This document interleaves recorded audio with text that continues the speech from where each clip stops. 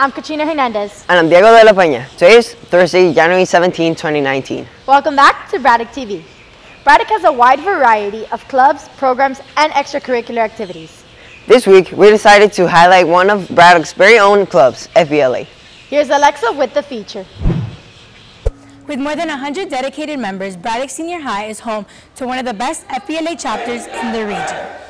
FBLA, or also known as Future Business Leaders of America, is an American student organization that allows students to prepare for future careers in business through academic competitions. From video production to public speaking, FBLA allows its members to compete in a variety of competitions.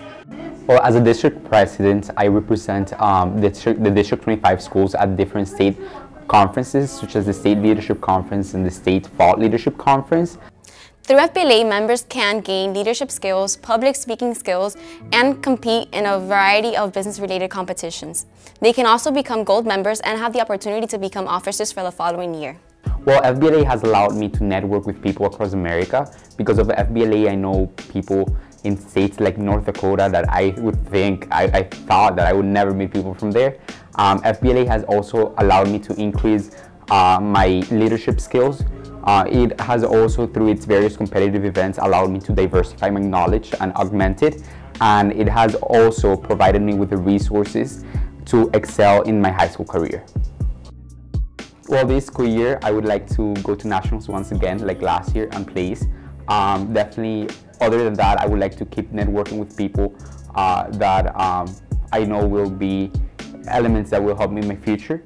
Um, I would also like to uh, enjoy my last year in high school. I mean, the officers do a great job and every time we go on field trips, we have a great time and that's something that uh, it's worth more than a trophy or than a certificate is being able to share those special moments with your peers that will last for a lifetime. A lot has been going on around our campus lately, from Holiday Spirit Week to Senior Picnic. Here's Keanu with the recap. On December 14th, the graduating class of 2019 participated in their first senior activity, the Senior Picnic. The seniors got a chance to see animals ranging from giraffes to zebras and eat a delicious lunch of burgers and hot dogs. That same day, Building a Bulldog hosted a small talent show for children from a special school to help them with, this, with social cues and build confidence to interact more with their peers.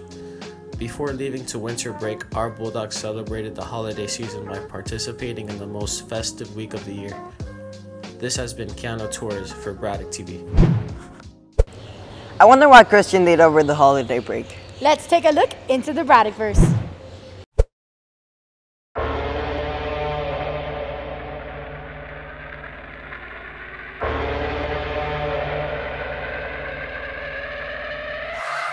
2,000 on thermometers, 2,000 surrounding us. who Travel 2,000 kilometers to hang out with us. What's up, danger? What's up, danger? Hey, didn't know they doubted us. Makes it that more marvelous. Sign them up, cause ominous vibes and I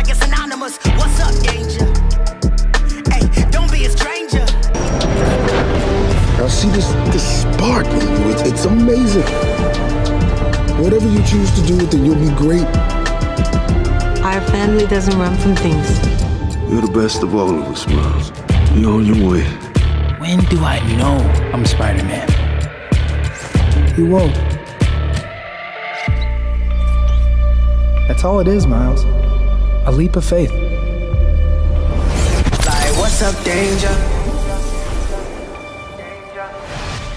Like, what's up, danger?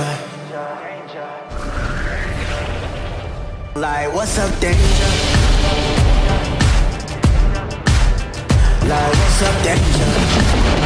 Made them myself. They fit perfectly.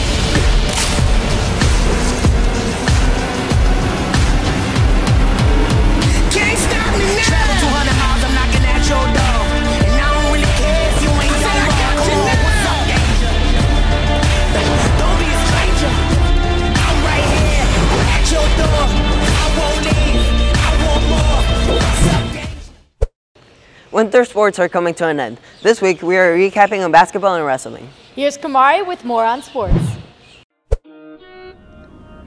This past Friday, the Braddock boys basketball team secured a win against Southwest, defeating them by a score of 50 to 46. Sebastian Paz scored 10 points on 100% shooting, while also racking up 4 assists, 4 rebounds, and 2 steals.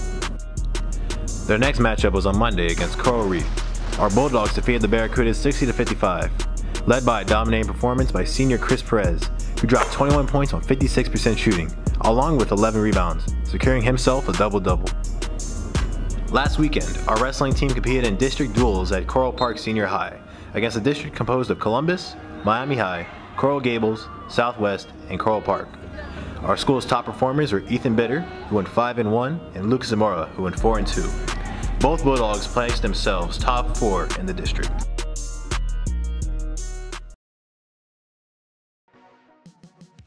National Honor Society is hosting a pet supply drive. All donations can be left in room 4117. You can receive five community service hours per item donated.